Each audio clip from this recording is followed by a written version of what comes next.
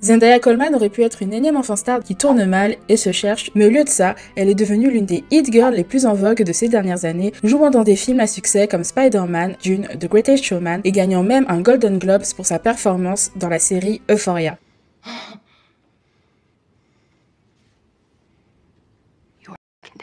Son talent d'actrice n'est plus approuvé et pourtant, elle explique qu'au début de sa carrière, en tant qu'enfant star Disney Channel, on ne la prenait pas au sérieux. Elle a construit sa carrière en acceptant de bons rôles secondaires pour prouver qu'elle savait jouer pour ensuite monter petit à petit. Mais un des leviers que Zendaya a également utilisé pour accroître sa notoriété, c'est la mode. En 2021, elle est la plus jeune à gagner le Fashion Icon Awards, un prix qui récompense quelqu'un qui a une influence indéniable dans le monde de la mode. Et derrière cet accomplissement se cache un homme qui a établi toute une stratégie au niveau du style de Zendaya pour qu'on la remarque dans le bon sens.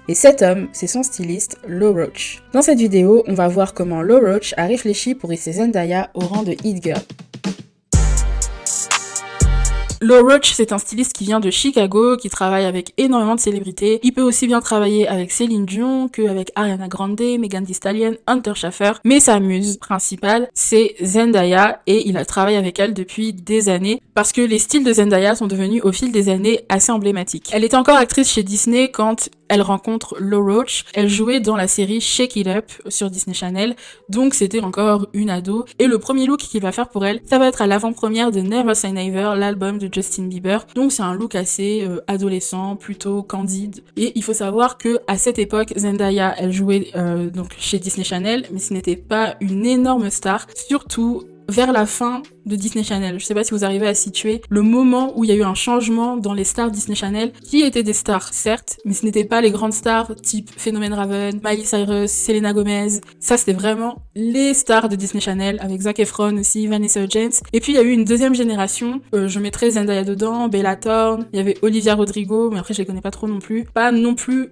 l'engouement qu'on avait pu connaître au début des années 2000 pour les personnalités de Disney Channel. Et donc, sachant tout ça, le Roach, il a décidé d'adopter une stratégie pour faire qu'on remarque Zendaya parce qu'il savait que quand elle allait à des événements, quand elle allait à des tapis rouges, les regards n'allaient pas se tourner vers elle parce que elle n'avait pas une popularité monstre. Donc, ce qu'il va faire, c'est qu'il va adopter la stratégie qu'il appelle le copycat parce que dans les années 2010, il y avait une tendance qui s'appelait le Who Wore It Better qui a le mieux porté cette tenue. Les journalistes, les blogueurs aimaient beaucoup mettre en compétition des célébrités qui avaient porté le même look et désigner la célébrité qui l'avait le mieux porté. Et il s'est dit que si il recopiait les looks de certaines célébrités en les apposant sur Zendaya, elle allait forcément gagner la battle parce que elle est plus belle que les autres. C'est ce qu'il dit, c'est pas moi qui le dis, mais en gros, elle a le privilège de la beauté. She's 16 years old, she's 6 Who's gonna wear her? So I would literally go to the shows and they'll say, Law, someone already wore that or such and such wore that. Such. I was like, can we? That's I was like, if you don't mind, I don't mind. Yeah. Yeah. And so what happened is she began to build press off who wore it better, and she would always wear it better.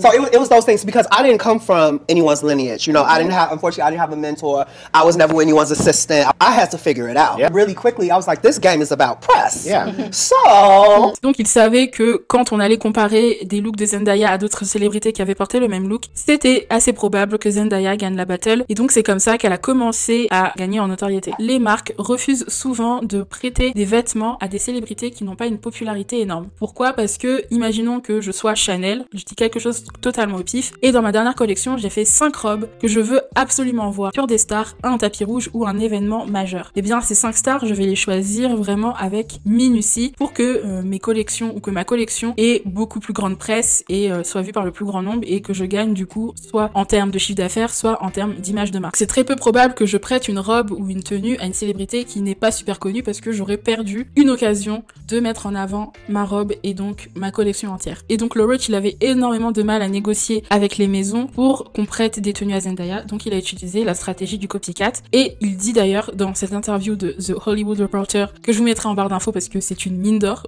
Dedans, il dit que Zendaya, elle a fait la couverture de Vogue parce que son style euh, commençait à taper à l'œil de plein de gens, mais que quand elle a fait sa première couverture Vogue, elle n'avait jamais porté de maison de luxe. Soit elle avait porté des petits designers, soit elle avait porté des tenues bah, recopiées sur d'autres stars. Et c'est avec cette montée en popularité et en notoriété qu'elle a commencé à taper dans l'œil du monde de la mode en fait. On using smaller brands and emerging designers. Mm-hmm. But what I wanted to prove that she doesn't have to be in Valentino to become a fashion girl. For a long time, they all said no to her. So now that everybody wants to dress her, I go back and I say, This thank you. season. No, thank you. Et là, on voit que quand même, il y a une grande bataille euh, entre célébrités pour avoir accès à certaines tenues. C'est pour ça que parfois, quand on juge des Met Gala, ben, en fait, ils parlent pas tous avec le même pied d'égalité. J'imagine qu'il n'y a pas toutes les tailles chez les marques. Il doit être très difficile quand tu ne fais pas une taille 36 ou une taille 38 de pouvoir te faire prêter des tenues. Et là, vous me direz, pourquoi les célébrités, elles n'achètent pas leurs vêtements chez les marques? Eh bien, parce que, imaginons que vous êtes une célébrité, que vous avez fait un film et que vous avez toute une tournée d'événements. Vous n'allez pas payer pour chacun de vos looks, sachant que chacun de vos looks doit être différent et que l'image que vous allez donner à chaque événement est très importante. Donc, le budget pour acheter à chaque fois une tenue, ça peut aller très vite, sachant qu'il y a le maquilleur, il y a le coiffeur, il y a le couturier, j'imagine, parfois.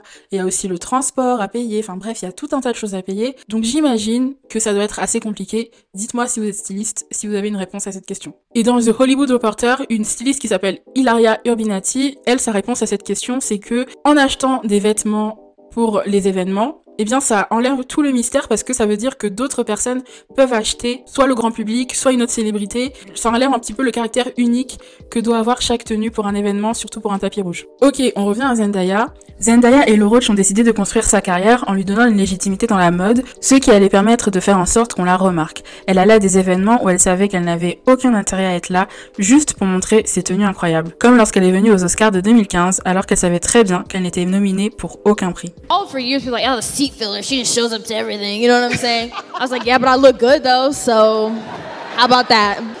Still on the best dress list. Une autre technique utilisée par son styliste Lo Roach, c'est le method dressing. C'est le fait de s'habiller en fonction de l'œuvre dont on est venu faire la promotion. Par exemple, si vous avez un film, dans votre tenue, vous allez avoir beaucoup de références à ce film.